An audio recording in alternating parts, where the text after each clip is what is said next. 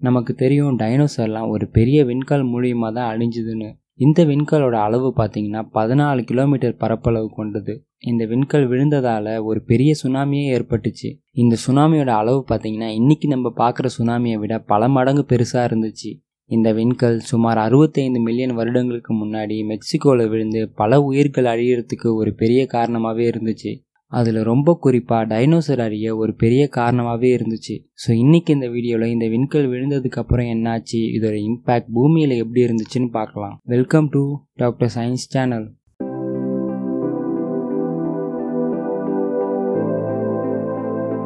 the first moment after impact first ஒரு சில டேர்ம்ஸை நம்ம புரிஞ்சுக்கலாம். பிகாஸ் இந்த வீடியோவில் அந்த வேர்டு வரும்போது உங்களுக்கு புரியாமல் போயிடக்கூடாது. கிரேட்டர் கிரேட்டர்னா என்னென்னு பார்த்தீங்கன்னா ஒரு விண்கல் விழுந்ததுக்கு அப்புறம் அந்த இடத்துல ஏற்படுற பள்ளத்தை தான் கிரேட்டர்னு சொல்லுவாங்க. சரி வாங்க வீடியோக்குள்ளே போகலாம் இந்த விண்கல் விழுந்த இடத்தோட பேரை சிக்ஸ்லோப் கிரேட்டர்னு சொல்கிறாங்க இந்த விண்கல் பூமியில் விழுந்ததுக்கப்புறம் இதனால் ஏற்பட்ட சுனாமியோட அளவை துல்லியமாக கால்குலேட் பண்ண சயின்டிஸ்ட் கம்ப்யூட்டரில் இந்த சுச்சுவேஷனை ரெப்ளிகேட் பண்ணி சுனாமியோட அளவும் அதோட தாக்கமும் எப்படி இருக்கும்னு ஸ்டடி பண்ணாங்க. அவங்க கிரியேட் பண்ண மாடல் விண்கல் விழுந்ததுக்கப்புறம் முதல் பத்து நிமிடம் எப்படி இருந்திருக்கும்னு அதுக்கேற்ற மாதிரி மாடலை கிரியேட் பண்ணாங்க. பொதுவாக பல மில்லியன் வருடங்களுக்கு முன்னாடி பூமியில் நிலப்பரப்பை விட தண்ணீர் தான் அதிகமாக இருந்துச்சு. இந்த விண்கல் விழுந்த இடமும் பார்த்தீங்கன்னா தண்ணீர் தான். இந்த விண்கல் விழுந்த இடத்துல சுமார் ஒன்று புள்ளி ஐந்து கிலோமீட்டர் அளவு கொண்ட பள்ளம் ஏற்பட்டுச்சு. விண்கல் விழுந்ததால் அந்த பள்ளத்தில் இருந்த தண்ணீர் அதோட இம்பேக்டால் வெளியே வந்து அந்த கிரேட்டரில் கொஞ்ச நேரத்துக்கு தண்ணீரே இல்லை. வெளியே போன தண்ணீர் மறுபடியும் அதே வேகத்தோட அந்த கிரேட்டருக்குள்ளே வந்து ரொம்பவே ஆக்ரோஷமான அலைகளை உண்டாக்குச்சு. இந்த சூழல் மறுபடியும் மறுபடியும் அதோட வேகம் குறையிற வரைக்கும் ஏற்பட்டுட்டே இருந்துச்சு. The biggest tsunami in history இவங்க கிரியேட் பண்ண மாடலோட டேட்டாவை வச்சு கடலோட அளவும் தண்ணீரோட வேகமும் எப்படி சுனாமி உலகத்தில் இருக்க எல்லா கடல்லையும் ஏற்பட்டு இருக்குன்னு கண்டுபிடிச்சாங்க.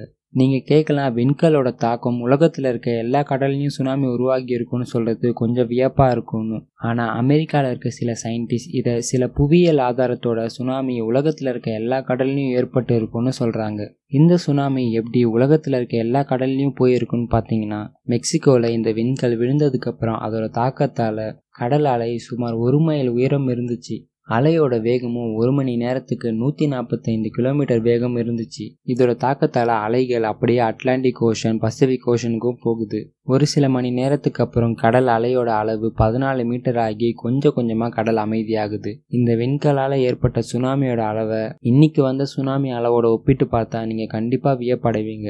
இந்தோனேஷியா அப்புறம் சைனாவில் ஏற்பட்ட சுனாமியோட அளவு வெறும் இருபத்தெட்டு மீட்டர் தான். ஆனால் விண்கல் மூலியமா ஏற்பட்ட சுனாமியோட அளவு ஒரு மைல் தூரம். அப்போ நினச்சி பாருங்கள் அந்த அலையோட அளவு எவ்வளோ பெருசாக இருந்திருக்கும்னு. ரெண்டாயிரத்தி நாலில் பதிவான சுனாமியோட தாக்கத்தை விட முப்பதாயிரம் மடங்கு இந்த விண்கல் மூலியமாக ஏற்பட்ட சுனாமியோட தாக்கம் இருந்துச்சு. இந்த சுனாமியால் டைனோசர் மட்டும் அழியாமல் இந்த விண்கல்ல இருந்து வெளியே வந்த சில கெமிக்கல் அட்மாஸ்பியரில் கலந்து மற்ற விலங்குகள் காடுகளை எரிய வச்சிடுச்சு. இந்த நெருப்புலேருந்து வெளியே வந்த புகை சூரியன் ஒளியை பல வருடங்களுக்கு மறைச்சதால மரம் செடிலாம் வளர முடியாமல் போயிடுச்சு. இதனால் உணவு சங்கிலியே பாதிக்கப்பட்டு நிறைய விலங்குகள் உணவில்லாமல் இறந்து போச்சு.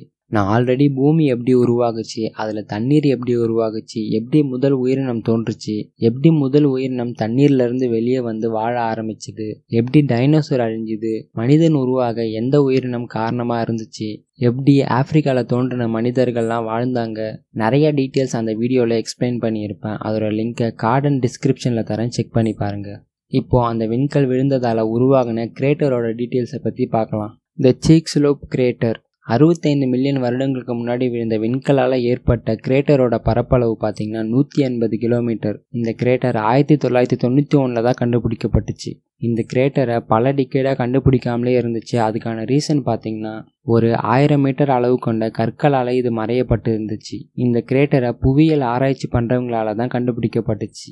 இந்த விண்கலோட தாக்கத்தால் பூமியில் இருந்த நிறைய உயிரினங்கள் அழிஞ்சது. அதில் டைனோசரும் ஒன்று அவ்வளோதான் இந்த வீடியோ உங்களுக்கு இந்த வீடியோ பிடிச்சிருக்கும்னு நம்புகிறேன் பிடிச்சிருந்துச்சுன்னா லைக் பண்ணுங்கள் அண்ட் சப்ஸ்கிரைப் பண்ண மறந்துடாதீங்க. கூடவே இந்த பெல் ஐக்கானை எனேபிள் பண்ணுங்கள் அப்போ தான் நான் ஃப்யூச்சரில் போகிற எல்லா வீடியோஸ்க்கும் நோட்டிஃபிகேஷன் வரும். தேங்க்யூ